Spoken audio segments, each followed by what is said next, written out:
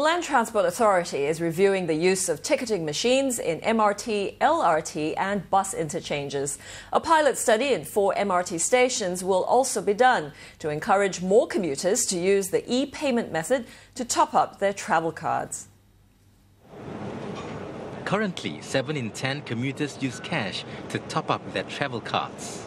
LTA says it wants to encourage more commuters to use non-cash transactions and is exploring ways to do this. We see a lot of uh, emerging trends in contactless payments in the retail space, like PayWave, PayPass by Visa and MasterCard.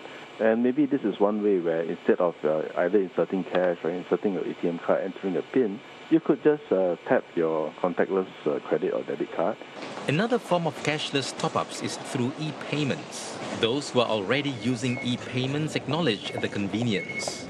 There are times when uh, during rush hour you're rushing for the train and the worst thing to to have happening to you is when you tap your card, you realize, oh no, I don't have any more cash, so you have to go top up. So it's kind of a hassle. So if you have the Giro, it's actually faster. To promote e-payment top-ups, LTA will conduct a pilot study for three to six months in four MRT stations.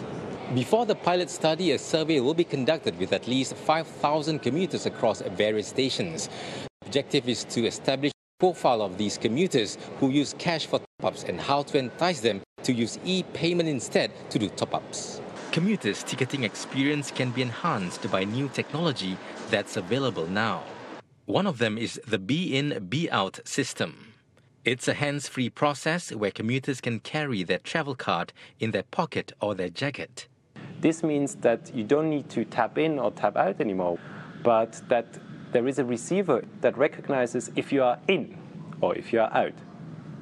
And then it will compute how much time or how much distance you actually spent with, with what kind of vehicle and will automatically um, subtract the value from your uh, account. LTA will engage a consultant to study new ticketing technology and what's being done in other cities like Hong Kong and London.